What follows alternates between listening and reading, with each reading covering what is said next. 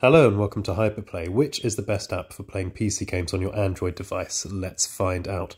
Starting off with GameHub, and we do recommend you start off with GameHub whenever you want to play a PC game on your Android device, simply because it sets up so many of the parameters for you. It makes it incredibly easy in a way that Winlator does not.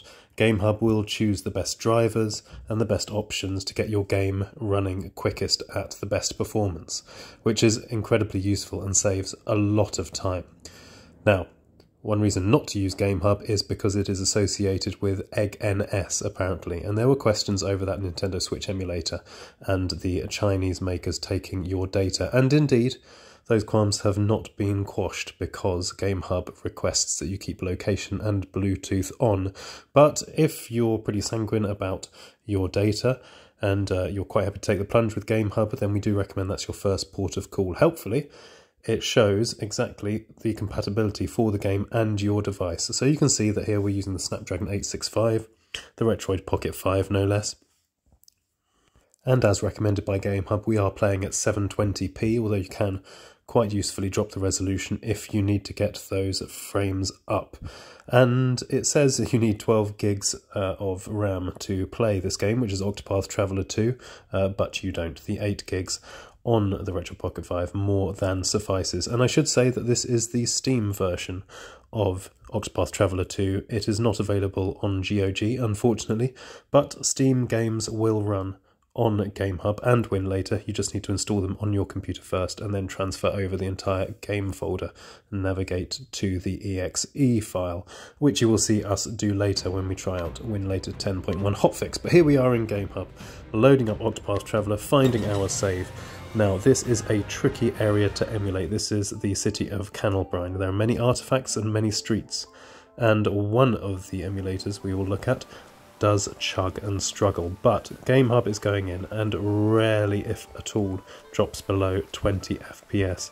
In fact, going up to 24 FPS here, and you can see on the top left of the screen that GameHub usefully provides all this information in a long line with regard to CPU usage, GPU, but we're mostly interested in frames per second. So on each video, we're going to zoom in at this point and have a look. And there we go steady at 21 frames per second, 22 frames per second on GameHub and looking and playing great.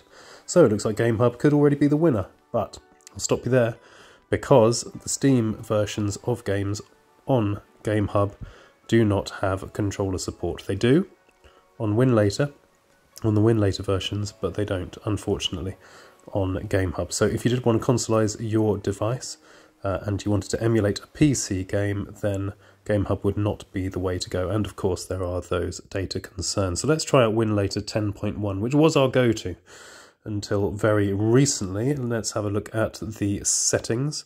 And we've got settings 24.1 for our turnip. You can use 25.00, but 24.1 is very good. And then DXVK 1.10.3, which we have found to be the best and most consistent across all the apps. Box 0.6.4 has been stable as well. But really in Winlator 10.1, your options for tinkering are limited, in contrast to GameHub, where GameHub will give you a whole list of drivers, including one we haven't come across anywhere else, uh, 24.3.0 version 12, which works very nicely, but Unfortunately, we are struggling in Winlator 10.1, and you can see it is chugging along, barely getting over 10 frames per second. Winlator 10.1 no longer fit for our purposes. So we went to our fallback, our previous fallback, which was Winlator Bionic Ludashi. Let's have a look at our settings here. The great thing about Ludashi is you can import standard turnip drivers. They don't have to be the ones that are optimized for Winlator. So you can bring in 9v2, the fabled turnip driver that uh, Ryan Retro said that he discovered, the snake oil turnip driver, and it's working very nicely. 21 to 22 frames per second on that tricky bit of the Canalbrine streets leading up to the mansion. And yeah, as with GameHub earlier, we are trucking along quite merrily with the FPS going up to around 27, but always staying above 20, uh, which is very much the sweet spot for this area. Certainly don't want to go below 20 frames per second. if possible. So, yep, Winlator, Bionic Ludashi tied, we would say, with GameHub, but you can use your controller. On to Winlator 10.1 Hotfix, the new hotness. We were so unimpressed with Winlator 10.1, we had to go and uninstall it, um, which you must do. You can sideload Winlator Bionic Ludashi and have that app as well as Winlator 10.1, but you can't have Winlator 10.1 app and Winlator 10.1 hotfix coexist. Uh, unhelpfully, on the GitHub site, it is just called Winlator 10.1, the APK. Uh, exactly the same name as the previous APK, but not to worry, we made sure we got the right one.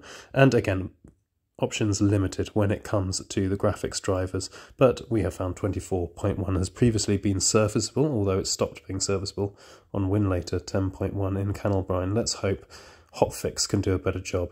Good old trusty 1.10.3 for the DX wrapper, changing audio driver to Pulse as well. And then we will go across and change to um, aggressive startup uh, and also change the to debug, make sure that sysmem is ticked so that there is no screen tearing. Sysmem helps avoid screen tearing in the game. Box 64 preset, well that will be a performance. You should always go for performance. Uh, start up aggressive as we said and then leave it as Windows 10 and the CPUs as default. Let's have a quick squiz at the settings and yes, Winlator 10.1 hotfix starts off with a Box64 version 0.3.6 as standard, though you can go for 0.3.7. We were tempted, but we believe that 0.3.6 is a bit more stable at this stage. So now we've got our container all sorted. We need to make sure that we can get to our Octopath Traveler 2 save game. And we can do that by going into the container and installing the wonder that is AJ Prefix. Now we're going to do a whole new video about AJ Prefix and how to get it set up fully uh, on your Android device and make sure you can install it in all your containers. But effectively what AJ Prefix does means you're always able to access your save files for whichever game you're playing on Winlator or GameHub.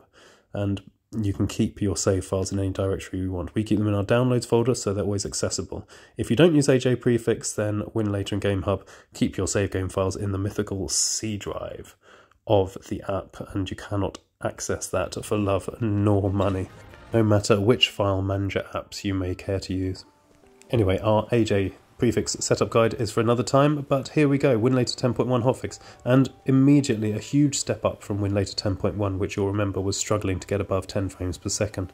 We are almost always above 20 frames per second here, and quite happily 21 to 22 frames per second. So on a par with GameHub and on a par with Winlator Bionic Ludashi. So again, the benefits of Hotfix are that even Steam games are compatible with your Bluetooth controller. But why not just use Winlator Bionic Ludashi? Well, the concern with Winlator Bionic Ludashi, uh, which has a very similar performance to this, is that uh, they have optimized the app so that it squeezes every last ounce of power from your device and may cause some overheating.